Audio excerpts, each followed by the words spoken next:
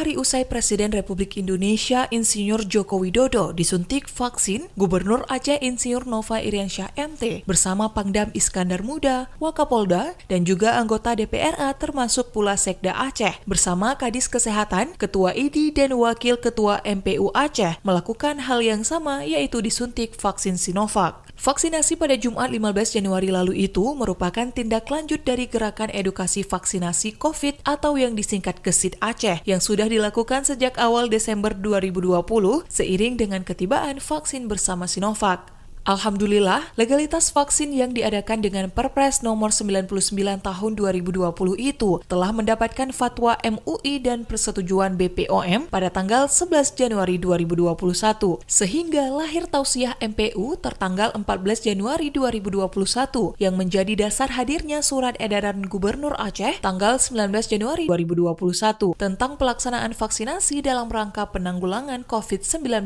di Aceh.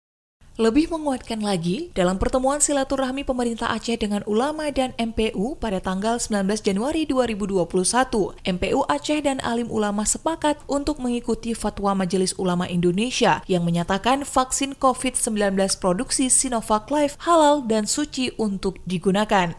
Sebelumnya, ikhtiar untuk memutus penularan virus corona di Aceh juga telah dilakukan dengan berbagai langkah nyata, bahkan sebelum COVID-19 menulari Aceh. Upaya pemerintah Aceh bersama Satgas COVID-19 yang didukung kabupaten kota dan berbagai pihak itu sebagai bagian dari kerja extraordinary dalam rangka mengendalikan penularan COVID-19 sehingga Aceh tidak sampai mengalami keadaan yang parah sebagaimana kini banyak dialami oleh provinsi lain di Indonesia. Terkini, setelah melakukan gema atau gebrak mas Masker Aceh pada September 2020 dan gerakan Nakes Cegah COVID-19 atau Gencar pada Oktober 2020.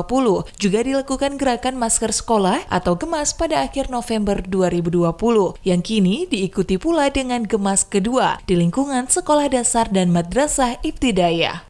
Ikhtiar tanpa henti ini termasuk yang dilakukan oleh berbagai kalangan, seperti penegakan disiplin hukum prokes oleh kepolisian yang dibantu oleh TNI, kerja keras tenaga medis, peran serta ulama Aceh, dan dukungan berbagai pihak termasuk dari media, adalah kolaborasi untuk mengakhiri penularan COVID-19 di Aceh. Semoga ikhtiar kita semua ini mendapat ridha dari Allah Subhanahu wa Ta'ala. Amin. Ya Rabbal Alamin.